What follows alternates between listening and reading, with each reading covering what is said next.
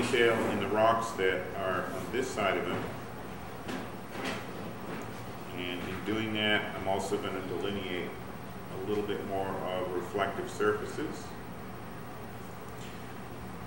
Now, one of the things about drawing water as a cartoonist rather than as a painter, if I were doing this as a watercolorist or oil or acrylic paint, I would approach doing this water completely differently. But I'm not. I'm working with brush, pen, and ink, so I'm drawing this as a cartoonist.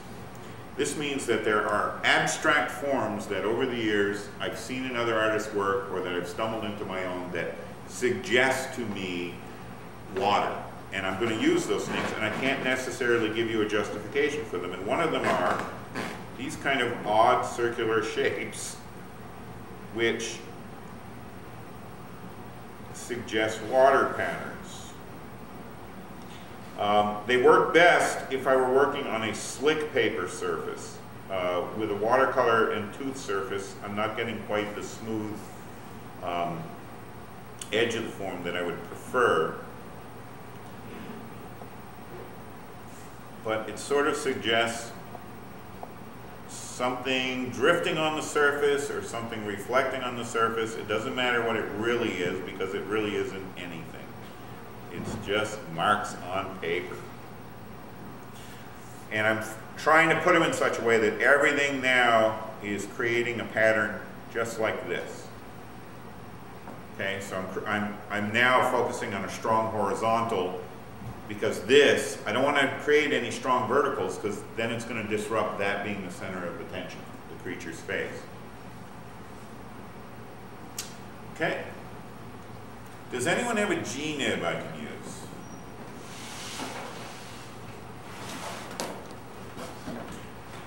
Ah, thank you. And is it broken in? Oh, it is. Perfect. Okay, this is uh, a G-nib pen tip beloved of CCSers here at the Center for Cartoon Studies. And the reason I like this pen point is, if you can see it closely, um, it is a, a large uh, sort of crow quill uh, cartooning point, and as you'll see as I begin working with it, it's very flexible. It's not as flexible as a brush, but I've got a lot of play with the line. And I've got a lot of control over the line. Um, I'm not putting much weight on this one. If this were my G-nib, I would beat the tar out of it. But because it's matched G-nib, I'm going to treat it with tender okay, what I'm doing now is I'm emphasizing um, the curve of this creature's body. And I'm going to go in and add a little bit more line information to catch how that curve works. But not too much because again, I could really easily screw up with one or two pen lines that were out of place.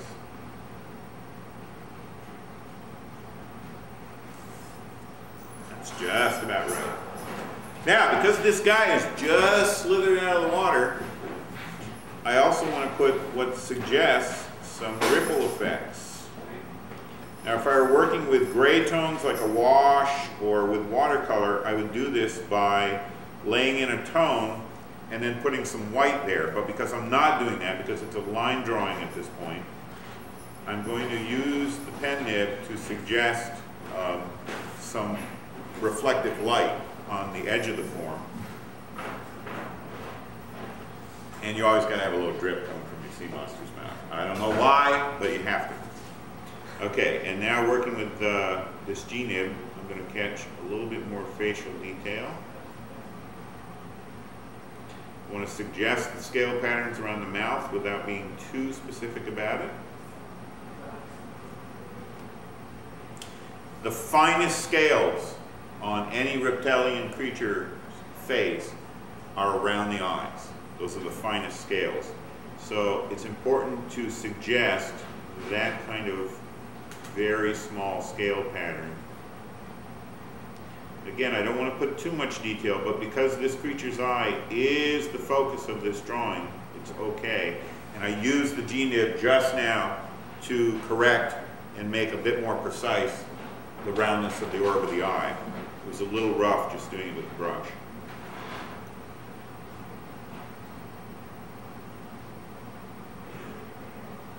Okay.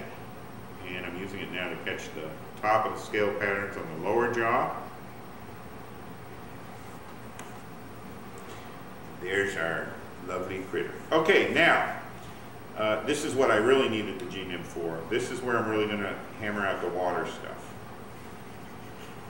And I gotta, I have a lot of room for error here because water is a non-concrete fluid substance. So as long as I maintain not working with straight lines, there are no straight lines when you're working with water unless you're dealing with a horizon line. And I'm cheating. It's foggy right now. So I'm going to be working with laying some forms in with the pen to create the look of fog behind him so I don't have to deal with the horizon line of the lake.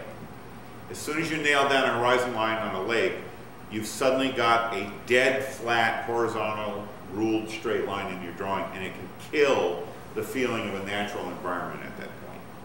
No lake edge, especially a lake the size of Lake Champlain or Lake Memphremagog, really has a horizon line because you can see the other shore, but I don't want to distract this drawing by trying to delineate another shoreline. So I'm going to fake it when I get to that point. Now, again, I'm starting to draw these kind of shapes that I can't really explain what they are, but they help it look like water. So I go with the flow. Now, as I'm having the, where the uh, body's coming out of the water, I'll do a little bit of bubbles those little incidental things that we would see if we saw this critter coming up.